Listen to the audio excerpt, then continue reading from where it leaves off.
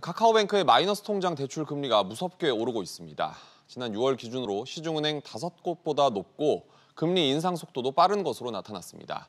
너무 크게 오른 금리에 마이너스 통장 연장 여부를 놓고 카카오뱅크 이용자들의 고민이 깊어지고 있습니다.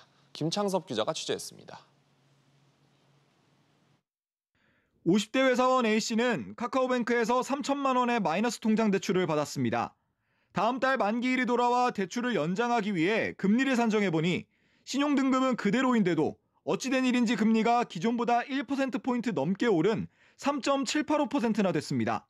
카카오뱅크가 최근 마이너스 대출 금리를 빠르게 인상하면서 기존 적용 금리보다 크게 오른 겁니다. 그렇게 굳이 비쌀 이유도 잘 없거든요. 다른 일반 시중은행보다 비싸거든요. 너무 높은 거죠. 이익을 너무 많이 취하고 있는 거예요. 지난 6월 기준 카카오뱅크의 1에서 2등급 고신용자를 대상으로 한 마이너스 대출 금리는 K뱅크와 시중은행 5곳 중에 가장 높은 3.62%로 나타났습니다. 1년 동안 무려 0.79%포인트가 오른 겁니다. 다른 은행이 0.26%포인트에서 최대 0.59%포인트 올린 것과 비교하면 인상폭이 큽니다. 카카오뱅크는 가계대출 총량 규제와 중금리 대출 활성화를 위해 마이너스 통장 대출 금리를 올렸다고 설명했습니다. 시중은행보다 낮은 금리를 앞세워 고객을 끌어모은 카카오뱅크가 시장 영향력이 높아진 점을 앞세워 수익을 올리려는 장사 속을 드러내고 있다는 불만이 커지고 있습니다. SBS 비즈 김창섭입니다.